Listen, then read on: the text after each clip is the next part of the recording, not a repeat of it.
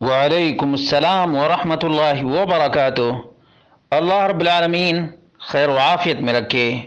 سوال واقعتاً بڑا ہی اہم ہے کہ یہ دو ہزار بائیس دسمبر کا مہینہ پچیس دسمبر کو کرسمس ڈے کرسچن لوگ مناتے ہیں اور اس مناسبت سے شہر حیدرآباد کے بہت سے مسلمان بیکری والے اسپیشل آفر کے نام سے کیک بناتے ہیں، تو کیا بحیثیت مسلمان اس موقع پر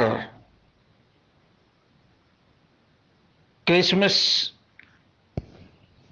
کیک بنا سکتے ہیں اور یہ آفر دے سکتے ہیں؟ اس کا جواب یہ ہے کہ یہ ایک مسلمان کے لیے درست نہیں ہے۔ جب ایک مسلمان کے لیے بدعات اور خرافات پر مبنی جو جشن منایا جاتا ہے، ان میں شرکت کرنا، ان میں سپورٹ کرنا اور ان میں کسی طرح سے تعاون کرنا منع ہے، تو یہ کفار کی عید پر یہ سب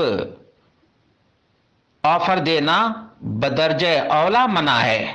کہتے ہیں، یہ ابو المعز فرقوس کہتے ہیں، وَيَنْدَرِجُ ضِمْنَ الْعَمَلِ الْمَرْدُودِ مشارکت الخبازین وصناع الحلویات والطباخین وتجار اللحوم البيضاء والديك الرومي وغيرهم لأجل إحياء هذه المناسبات المحدثة لما فيها من التعاون الآثم وتجاوز حدود الشرع.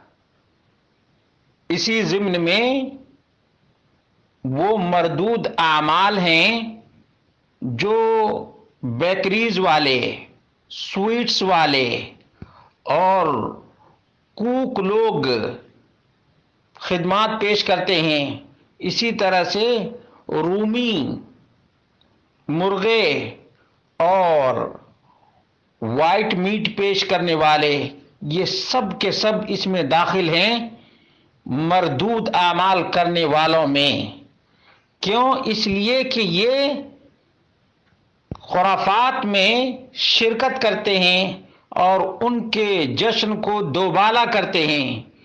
اور اس میں گناہ پر تعاون ہے اور شریعت کی مخالفت ہے، جبکہ اللہ رب العالمین نے ایسے تعاون سے منع کیا ہے۔ وَتَعَاوَنُوا عَلَى الْبِرِّ وَالتَّقْوَى وَلَا تَعَاوَنُوا عَلَى الْإِثْمِ وَالْعُدْوَانِ وَاتَّقُوا اللَّهِ إِنَّ اللَّهَ شَدِيدُ الْعِقَابِ۔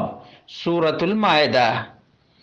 کہ نیکی اور تقوا کے کام پر ساتھ دو تعاون کرو۔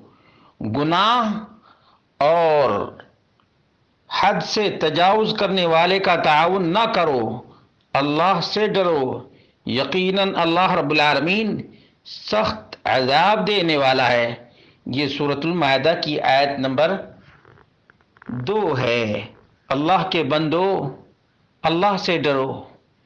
یہ کرسچن لوگ عیسیٰ علیہ السلاۃ و تسلیم کو نہیں مانتے، کیونکہ پچیس دسمبر کو عیسیٰ علیہ السلام کی پیدائش نہیں، اسی طرح سے یہ جو پروٹسٹینٹ لوگ ہیں اور کیتھولک لوگ ہیں، یہی لوگ یہ پچیس دسمبر کو مناتے ہیں۔ آرتھوڈکس والے جنوری کے مہینے میں مناتے ہیں۔